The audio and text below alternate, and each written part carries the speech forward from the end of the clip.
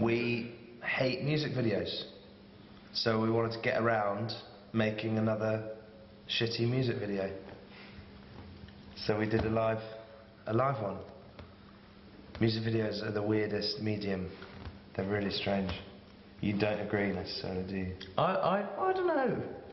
They're diff- it's quite difficult. I just don't think we know what our music videos are about, and we live music videos seems to work quite well for us. If we have to be in the music video, we'd rather just make it a live video than have us frolicking through the fields. We're not actors, you see.